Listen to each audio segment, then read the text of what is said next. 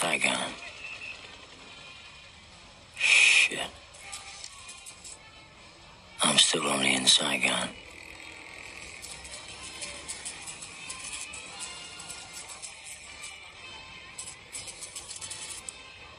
Every time I think I'm gonna wake up back in the jungle.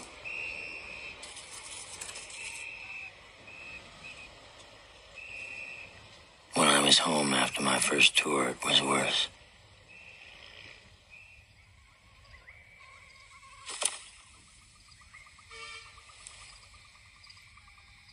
I'd wake up and there'd be nothing.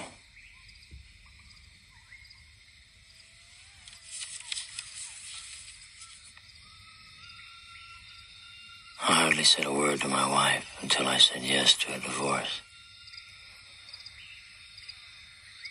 When I was here, I wanted to be there.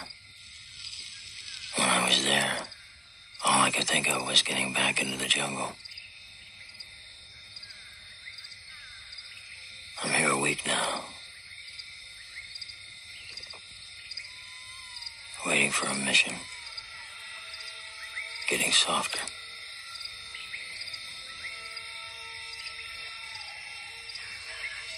Every minute I stay in this room, I get weaker. And every minute Charlie squats in the bush, he gets stronger.